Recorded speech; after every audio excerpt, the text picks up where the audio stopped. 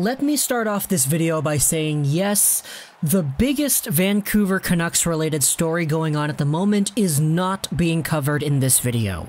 Full disclosure, I record all the videos that I make and upload a day before they are uploaded. This video is being recorded on May 5th, and on May 5th, we are having so many pieces of news, radio hits from JD Burke, Elliotte Friedman, etc., talking about this big Vancouver Canucks story, and I'm going to wait until May 6th to actually make a video about it, to let all the thoughts and ideas nestle in and try to take a look at the angle that I want to explore. So the video talking about the biggest Canucks story at the moment, Judd Brackett potentially leaving and the draft picks, etc. That's going to come up tomorrow on May 7th. For now, May 6th is going to be this video here on Nils Hoglander, which is being recorded on May 5th. With that out of the way, though, let's talk today about Nils Hoglander and if he is NHL ready. This is a topic that I don't know if I'm taking it more seriously than other people are, but based off of the rhetoric that I've heard from Vancouver Canucks fans, I think there is a very real and legitimate party that believes that Nils Hoglander is very NHL ready and is probably a little bit better than I would like to say that he is. Now, Nils Hoglander, before we get into that, he is a player that the Vancouver Canucks drafted in the 2019 NHL entry draft, 40th overall in the second round. That's crazy. He's a guy that a lot of people pegged as a first round talent. He's a guy that Jim Benning himself said that they had at the end of the first round all the way back one year ago. He's a guy that many Vancouver Canucks fans thought was an immediate steal, and because he was a guy playing in the SHL in his draft year, there was an argument a year ago that people were saying, hey, he could potentially be NHL ready which is why we talked about it a year ago. In the summer, in the offseason, we asked the question, hey, is Nils Hoglander NHL ready? I concluded, no, he is not ready, he will not make the team. Send him over to Sweden, let him dominate the SHL, and we'll see from there, right? Well, recently, Nils Hoglander signed his NHL contract, meaning that he is now officially in the Vancouver Canucks system. He has the ability to play for the Vancouver Canucks next season. However, if he is not good enough to play for the Vancouver Canucks, he says himself he's going back to Sweden. In fact, it says that he's going to go back to Sweden for one more year. It's actually kind of funny because people were potentially talking about Hoglander starting in Utica, but according to the IIHF transfer agreement, he actually can't do that unless his Swedish team, Rögle BK, allows him to go there. And if Rögle is in a position where one of their nice young players in Nils Hoglander is being rejected from his NHL club, they have the ability to just say, no, we're keeping him here with us. We're not sending him to Utica, he can play here. And that's kind of what Hoglander himself is speaking towards as well. If it's not NHL, it's SHL once more, and that's kind of where we're going to go from there. But why are we talking about whether or not he's going to make the NHL at all?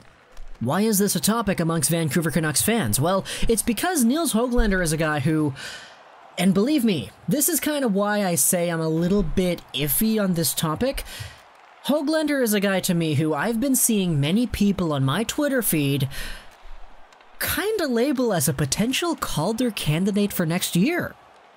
Now, this is not something that I am pulling out of thin air. If you search the words Hoglander Calder into Twitter and you search by latest, you can see a lot of people talking about Nils Hoglander as if he is going to be next in line. Next in line to the Boesers, the Petterssons, the Hughes in the Vancouver Canucks Calder track record, I guess.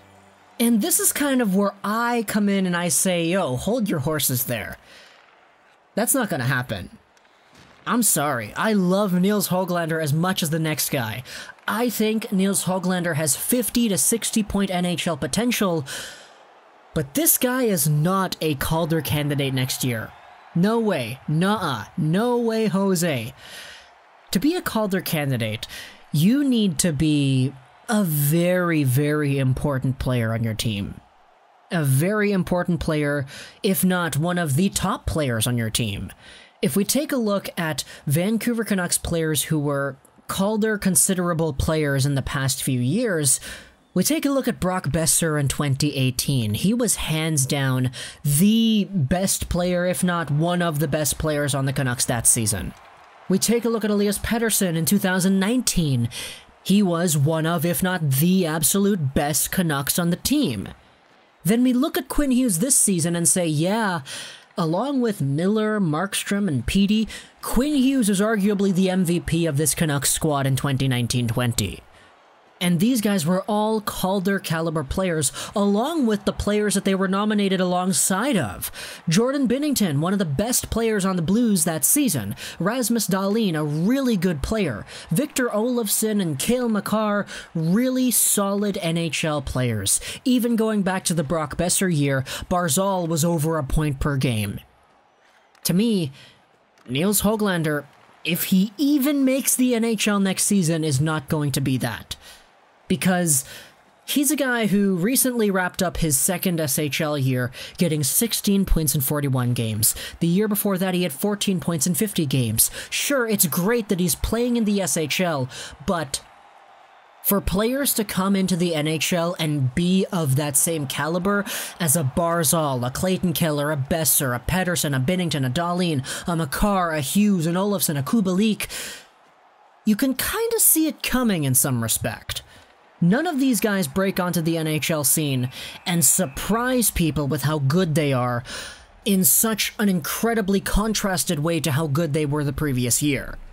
Pettersson, before he came over to the NHL and was the Calder winner, was the best player in Sweden, hands down.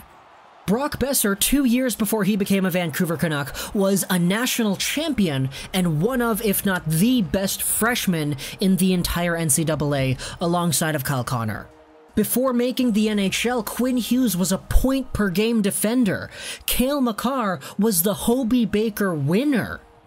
And these are the kinds of players that dominate in the NHL. It's the ones that are so good before stepping into the big leagues. And Hoglander, to me, is just not that. If Hoglander had an Elias Pettersson like draft plus one year where he was the best player in Sweden, then I could totally see Hoglander becoming a Calder candidate for next year too. But that is not what he did. He was a depth player for the Rögle BK, and he was a player who Maybe he probably is a bit better than a depth player, but regardless, that's how they decided to play him, and that to me kind of tells a little bit of a story as to how good he actually is at the moment. He said it himself, if he's not good enough to make the NHL, he's going back to Sweden. Now, whether or not he is going to be an NHL player is a completely different story. Jim Benning says that he could be. He could be a top 9 player in the NHL next season, and eventually he could be a top 6 player for us but there are steps that need to go through and training camps and qualifications and exercises that we need to exhibit before we can distribute the lineup properly. Before we can say that Hoglander is an NHL player, before we can say that he's even in the top 9. To me, a player like Hoglander who was used in the SHL as a top 9 middle 6 player who got a very solid and not undisputable 16 points in 41 games. That's certainly not bad. But does that say to me he is Calder worthy next year? No. Does it say to me that he is NHL ready next year? Maybe. But I wouldn't be surprised if the guy has to go back to Sweden. At the same time, I wouldn't be surprised if he's stuck in the NHL in a middle six, top nine role either. Such is life for prospects that you take in the second round and who do have pro experience. Hoglander to me is going to be a great NHL player one day. But for people to start implying that he could have the immediate success like an Elias Pettersson did, that to me is quite baloney.